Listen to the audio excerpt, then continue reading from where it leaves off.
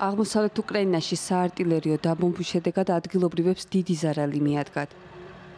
სოფელ ნოვოგატივკაში 16 საცხოვრებელი სახლი დაზიანდა. მოსახლეობას არ მიეწოდება ელექტროენერგია და ბუნებრივი აირი. ვითარება ახლა 2014 წელთან შედარებით უარესია. მაშინ ნაკლები ბრძოლა იყო.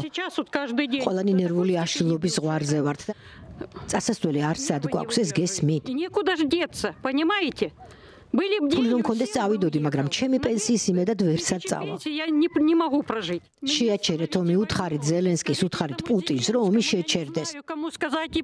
ასე ცხოვრება შეუძლებელია. ყველა იმავეს გეტყვით. საჭიროა შეთანხმების მიღწევა, მათ შორის ვაშინგტონის მონაწილეობით. ყველა პასუხისმგებელია. ჩვენ მიტანჯებით შეულებრივი ხალხი ვარ და ძალიან გვიჭირს. უკრაინელ ჯარისკაცებსა და პრორუს სეპარატისტებს შორის ფრონტის ხაზზე საარტილერიო დუელი მიმდინარეობს. ოკუპირებული დონბასის რეგიონში კი მოსკოვმა მასობრივი ევაკუაცია გამოაცხადა. უკრაინის დედაქალაქ კიევში წმინდა მიქაილის სახელობის მონასტერში მოსახლეობა მშვიდობისთვის ლოცულობს. უკრაინის მართლმადიდებელი ეკლესია მთელი სახელმწიფოს მასშტაბით ატარებს ამ სახის რელიგიურ ცერემონიებს.